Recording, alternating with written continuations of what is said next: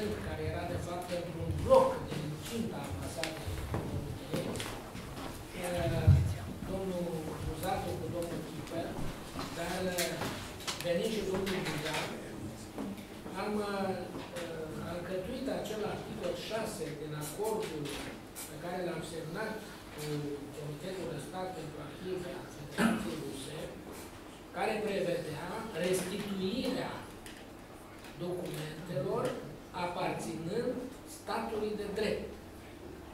A fost primul document oficial care uh, consemna această restituire a unor valori care fusese transportate în apostol în 1916-1917, dar și pe parcurs, deosebit după 23 august 1944. Și uh, ne-am consfătuit uh, toți trei, am ajuns la o formulă. Domnul profesor Buga, diplomat fiind, a găsit uh, și textul cel mai potrivit și acest uh, document a fost uh, semnat chiar în ziua de 23 aprilie 1992.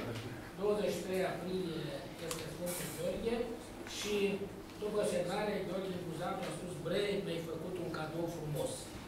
Acesta era